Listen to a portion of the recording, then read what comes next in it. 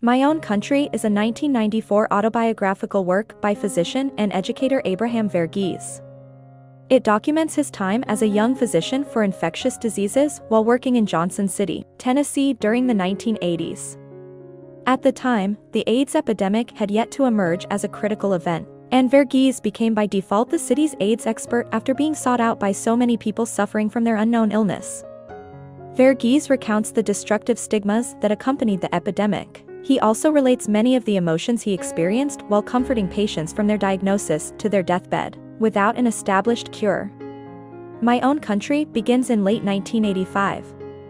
Dr. Abraham Verghese, newly licensed as an infectious disease specialist, arrives in Johnson City to begin practicing medicine. At the time, the amount of AIDS-related cases was beginning to multiply in urban areas on the east and west coasts of the United States. Verghese recalls moving from Boston to the more rural Johnson City, where he had lived before and during residency, as an attempt to leave the epidemic behind, critiquing his naivety. A few months before his move to Johnson City, the hospital where Verghese was about to start work had encountered a gay man who had also started in Tennessee, but moved to New York City. Coming to the emergency room on the verge of death, he was resuscitated, but died weeks later after an AIDS diagnosis combined with pneumonia symptoms. When Verghese arrived in Johnson City, the hospital staff were deciding what to do with his respirator. He recalls observing them debate whether to burn or bury it, believing it contaminated. The arrival of Verghese, combined with the stigma of the inner city disease, attributed commonly, especially in rural areas lacking education, to gay men and drug users, forms the background to the book. Verghese observes the transformation over time in the city's perceptions of AIDS, reluctantly realizing its reach cannot be quarantined by stigmatizing it. Verghese's own practice quickly grows from one patient to over 80 who have AIDS. Meanwhile, the townspeople try to maintain life as usual, drinking and shopping and declining to acknowledge a growing epidemic. He notes that they hypocritically do not suspect their own people as having a risk of infection with HIV, the precursor virus to AIDS. This frightens Verghese, who begins to see the extreme ignorance central to the spread of the epidemic. The latter events in the book gradually recall different characters Verghese meets during his tenure at Johnson City Hospital. He meets gay men with AIDS who return to their families to die after having left for years.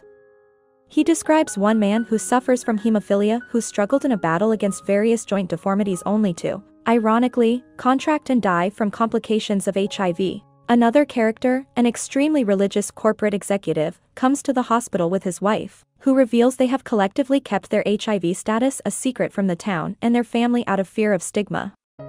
Verghese describes all of these characters sympathetically, casting humanizing lights on the fear and shame that births their ignorance. He recalls with regret how he felt strained in trying to maintain healthy relationships with his patients knowing their fate, he details other aspects of hospital culture as well, such as pay disparities between surgeons and interns, his own Indian heritage's custom of arranged marriages, and the social complexities of doing physical exams on humans. These anecdotes further color this account of his professional ethos and life.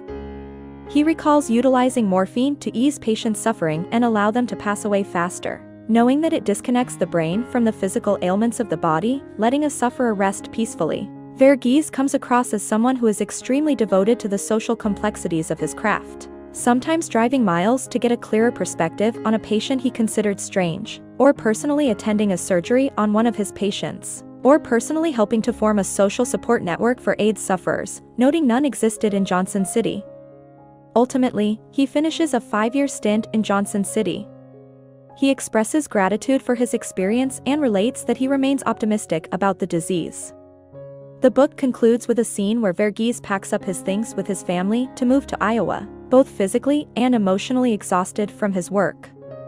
He notes that his marriage was strained at the time from his family having to endure the secondhand trauma, suggesting that the human consequences of AIDS transcend the ailments of the human body. Verghese's book is a unique novel in the literary canon about AIDS and stigma around medical issues, focusing on recent history's most contentious one, it provides a unique personal perspective on the complexes of excitement, exhaustion, death, and personal gratification that people working for AIDS sufferers and the larger epidemic feel.